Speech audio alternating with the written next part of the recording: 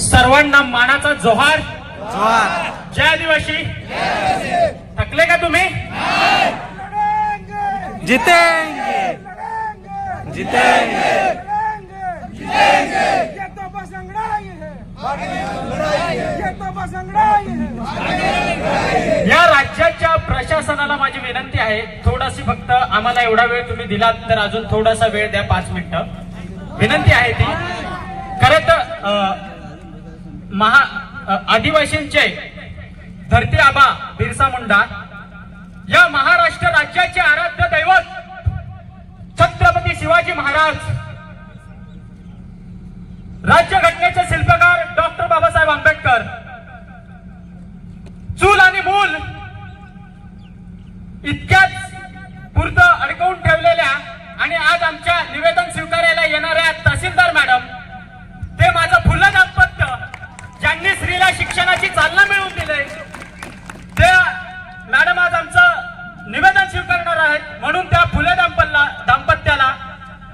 महात्मा फुले आणि सावित्रीबाई फुले. आरक्षणाची मुहूर्तमेढ रोवणारे राज्यश्री छत्रपती शाहूजी महाराज. आज एसपी असतील डीवायएसपी असतील पोलीस प्रशासन असेल तहसीलदार असेल पेशव्यांच्या राज्यामध्ये ज्यांनी आरक्षणाची मुहूर्तमेढ रोवली असे राज्यश्री शाह छत्रपती महाराज या सर्वांना त्रिवादन अभिवादन करतो मी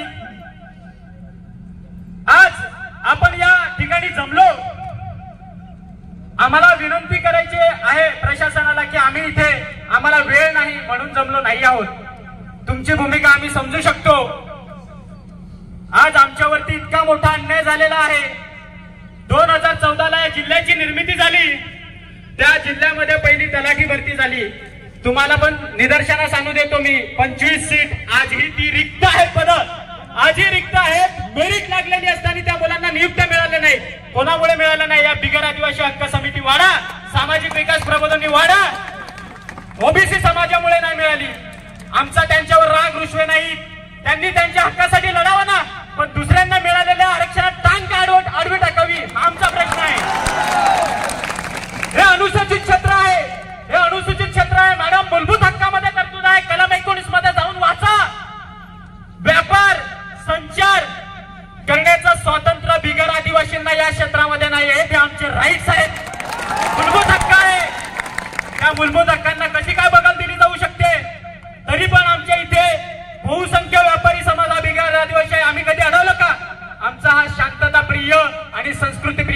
काय आम्ही कोणत्याही गोष्टी केल्या का चुकीच्या?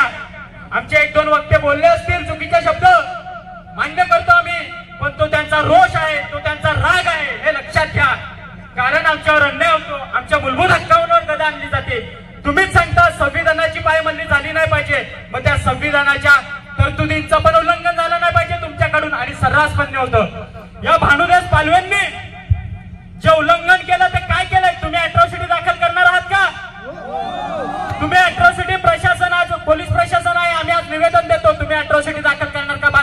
जागांवर कारण त्यांनी पाच ऑक्टोबरला पाच ऑक्टोबर पर्यंत भरती प्रक्रिया करायची होती. त्यांनी मुलांना योग्य संदेश दिला नाही. आज तुम्ही ज्या पद्धतीने म्हणता की सहा वाजता बंद करायचा नव्हता दहा वाजता बंद होणार होतं तुम्ही जसे सांगता की कोऑपरेट करा त्यावेळी आम्हाला प्रशासनाने कोऑपरेट केलं का? केलं का? काय केलं ना?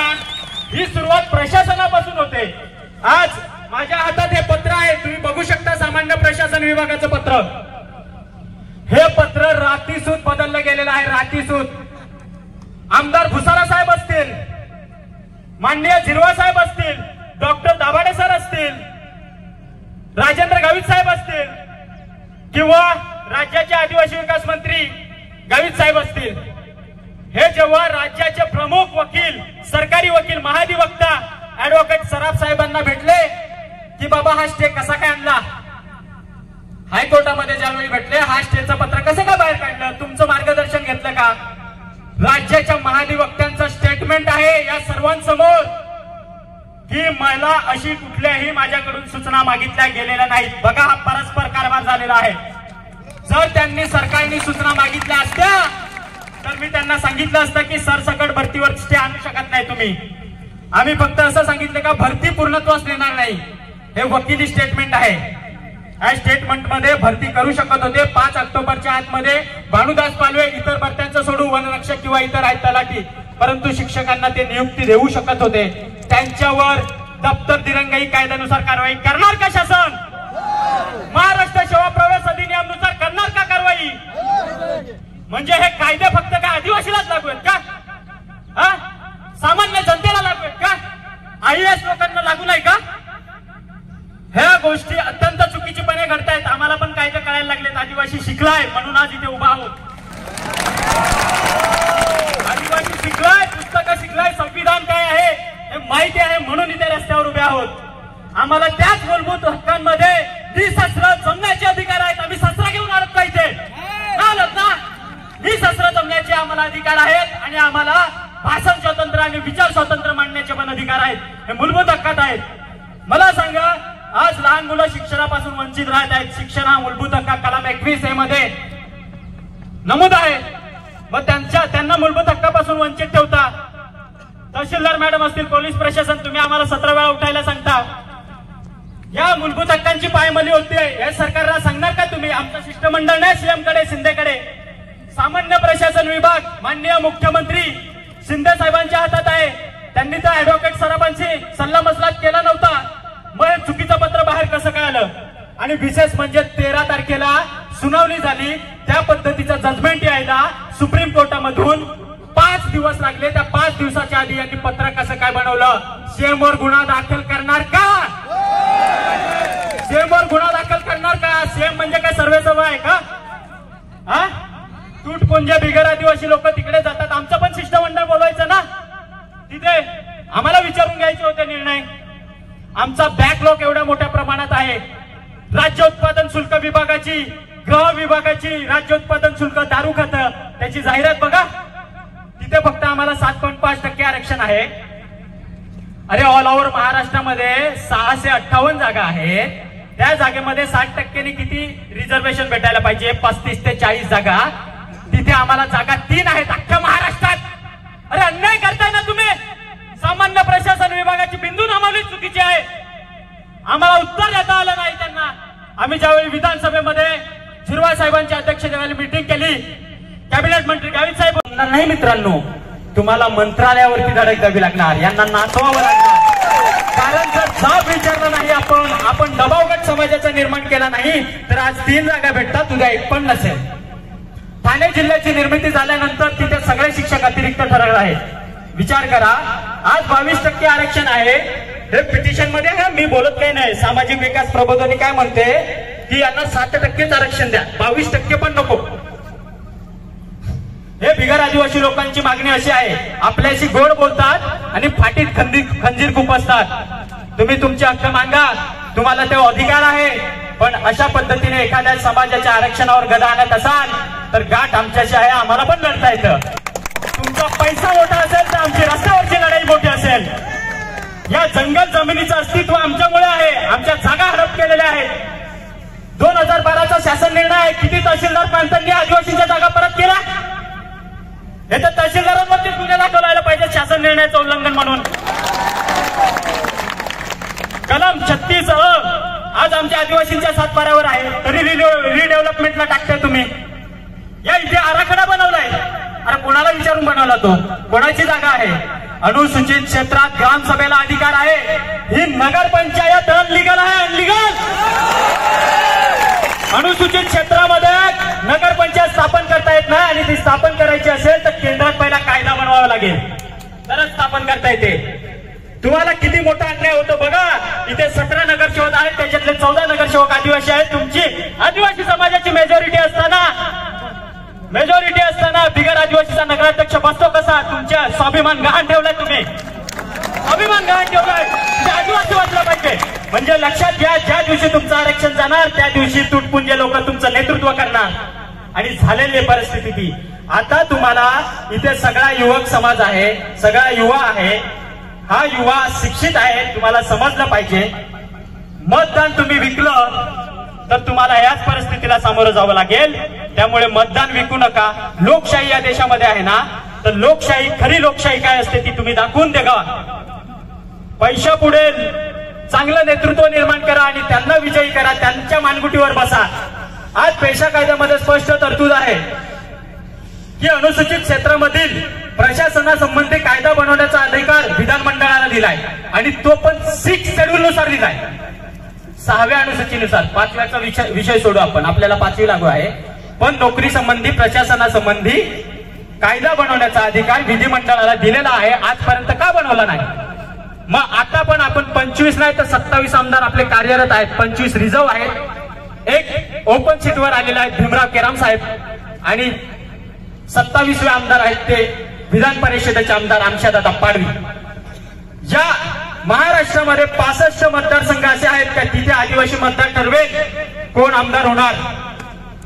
आपण सरकार पाडू शकतो मित्रांनो पण आपल्यात हे संघटितपणा असला पाहिजे. आपण पक्षापार्ट्या विचार विचारल्या पाहिजेत.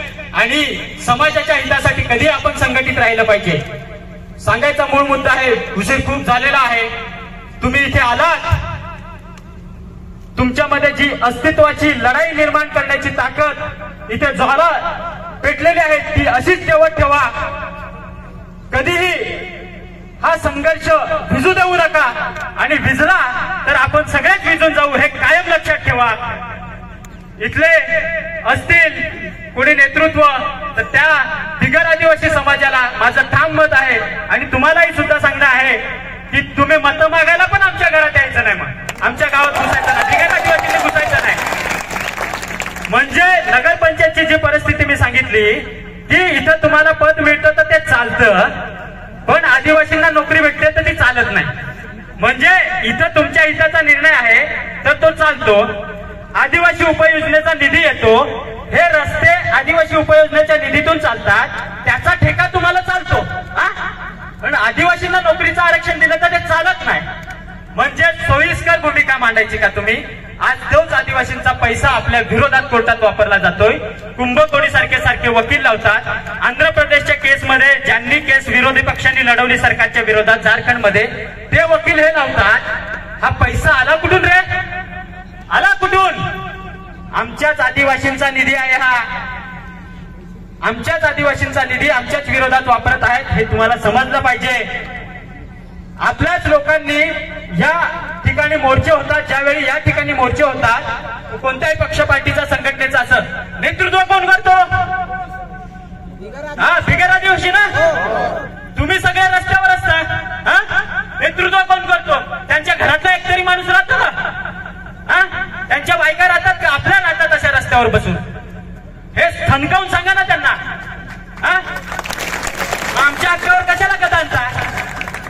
हे आपल्याला समजलं पाहिजे. आपण आपण संविधानिकच लढाई लढू. आपल्याला असंविधानिक मार्गाने कधीच जायचं नाही. पण हा रोष आहे आमच्या मनात. आम्हाला हे कळतंय आणि आम्हाला समजायला लागलंय. हे आम्हाला ठोसपणे इथे सांगायचं आहे. म्हणून हे बोलतोय मी. बराच वेळ झाला आपले सगळे बांधव उपस्थित इथे आहेत. त्या सर्वांना मानाचा जोहार देतो मी. ही आग अशीच कायम तेवत राहिली पाहिजे. आणि सदैव आपण असेच संघटित राहिलो पाहिजे. फक्त अर्धा दिवस इथे आलोय आपण. असेच पुढे पण कायम संघटित राहू असा मी विश्वास आहे मला. आणि या विश्वासाचाच कारण मला पण माहिती आहे जरी बसलेले असते लोक बोलायला लावतात माणसं परंतु आपण सर्वांचं मान म्हणजे समजून घ्यावू की ऊन पण आहे. आणि आजच नाही लढायचं आहे तर हा संघर्ष आपल्याला जिल्हा गल्ली ते दिल्लीपर्यंत न्यायचा आहे. आणि तिथून आपल्याला आपले अंक मागायचे आहेत आमच्यासाठी कायदा बना. कोर्ट काय निर्णय देईल ते मला माहिती नाही. याच्यामध्ये आता थोडक्यात सांगतो की जरी कोर्टाचा निर्णय विरोधात गेलो तरी संसदेला आणि विधानसभेला अधिकार असतात ते वेगळ्या प्रकारचा कायदा बनवून आपल्याला संरक्षण देऊ शकतात म्हणून हे रस्त्यावरची लढाई लढायची आहे. कोर्टाची लढूच आपण. आपण पण आता मागे फिरायचं नाही. पोलीस स्टेशन म्हणजे काय? आपण लगेच घाबरतो. अरे पोलीस स्टेशनला जायचं काय? भानगड मिटवायची. हे तंटामुक्तीला अधिकार आहे. पेसा पेसागाव आहेत ना तुमचे? राईट्स पहिले तुम्हाला आहेत. तिथे पोलीस इंटरफेअर करू शकत नाही. हे कायदा ते मी काही बोलत नाही ना. हे कायद्यामध्ये आहे. हे आपले ग्रामसभेचे राईट्स आहेत. आणि हे कायदे बनवून घेण्यासाठी आपल्याला गल्ली ते दिल्ली हादरावं लागेल. त्याच वेळी आपल्याला हे सगळं मिळणार आहे. थांबतो. जोहार जिंदाबाद. एक तीर एक कमान. आदिवासी एकता. जिंदाबाद. आदिवासी एकता. जिंदाबाद. आदिवासी एकता. जिंदाबाद.